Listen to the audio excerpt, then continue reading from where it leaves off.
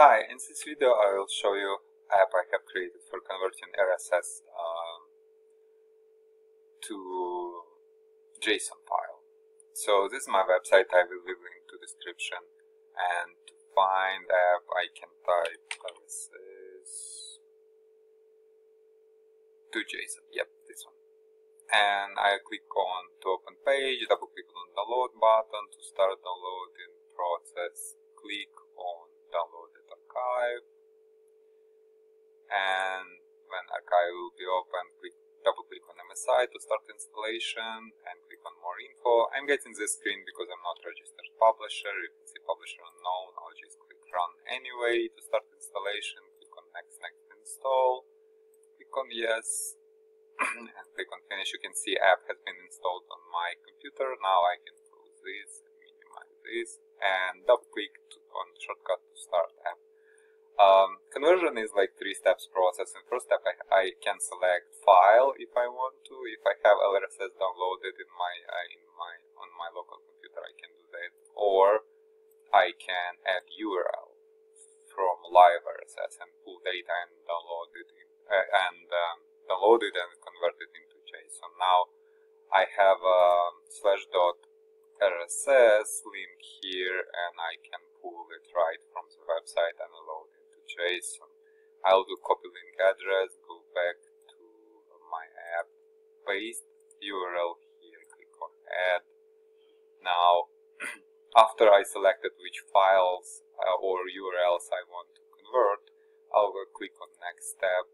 Here I can select which way uh, result format I can present or flat is like just one structure and then I can select columns from RSS I want to, to, to convert into my JSON. Because RSS has a lot of like technical columns and I am for example interested in the title and description. Like language, date, maybe date, yep, date is okay. And I can select all of them if I want to. And um, but it will create a really big uh, JSON and uh, sometimes I don't need to select all. So I click on next step after I selected uh, want to.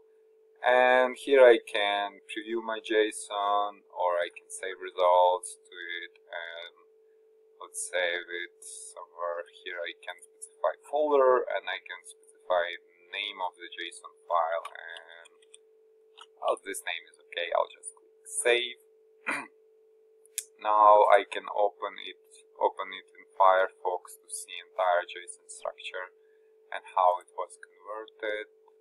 Go and find my file. This is my file, right? I will just drag to um, Firefox.